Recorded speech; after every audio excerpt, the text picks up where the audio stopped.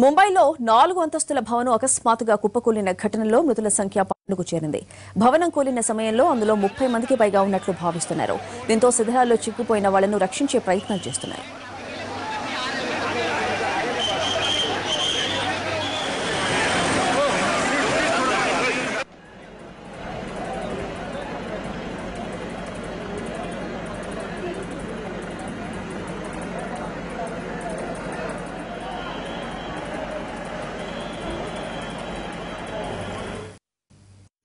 ముంబైలో నాలుగు అంతస్తుల భవనం అకస్మాత్తుగా కుప్పకూలిన ఘటనలో మృతుల సంఖ్య పన్నెండుకు చేరింది. భవనం కూలిన సమయంలో అందులో ముప్పై మందికి పైగా ఉన్నట్లు భావిస్తున్నారు. దీంతో శిథిలాల్లో చిక్కుపోయిన వాళ్ళను రక్షించే ప్రయత్నం చేస్తున్నారు.